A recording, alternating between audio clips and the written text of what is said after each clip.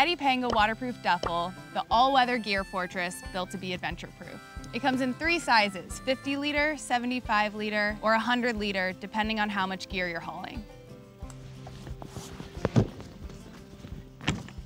This 75 liter duffel just survived a week on the river. Let's unpack it. These dry haul straps are not only ultra strong, they're also super versatile. They can be worn like a backpack or carried like a duffel. These straps feature ultra durable metal lock hardware. This custom made aluminum ensures that they'll never crack or break.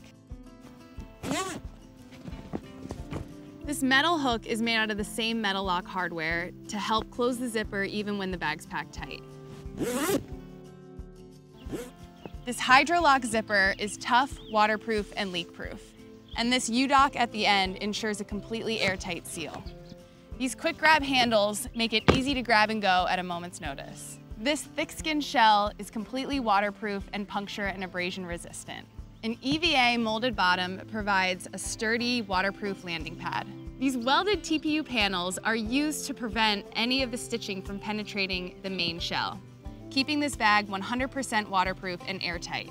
This 75 liter duffel is perfect for rafting trips. It's big enough to fit everything you need for multiple days on the water.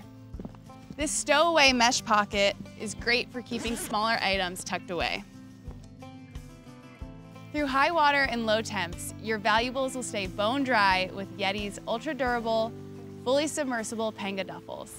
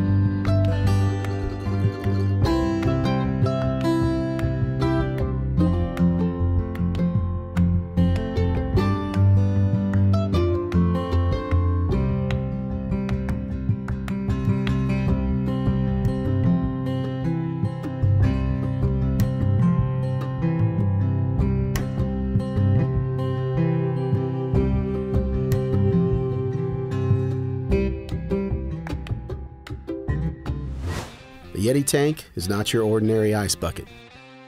It's a beverage tub behemoth, and it's armored to hold the cold until long after the party's over, and then some. The tank is built with rotomolded construction, just like whitewater kayaks, which makes it virtually indestructible. On the inside, commercial grade permafrost insulation is pressure injected to make sure your ice stays ice.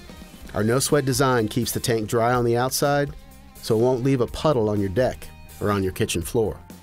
And when the party's over, our Vortex drain system makes for quick and easy draining. With four rubber feet, your tank will stay where you put it, and the rubber won't leave any marks on your nice floors. Our double hull handles have a slip resistant grip secured with military grade nylon rope to let you carry it into action over and over.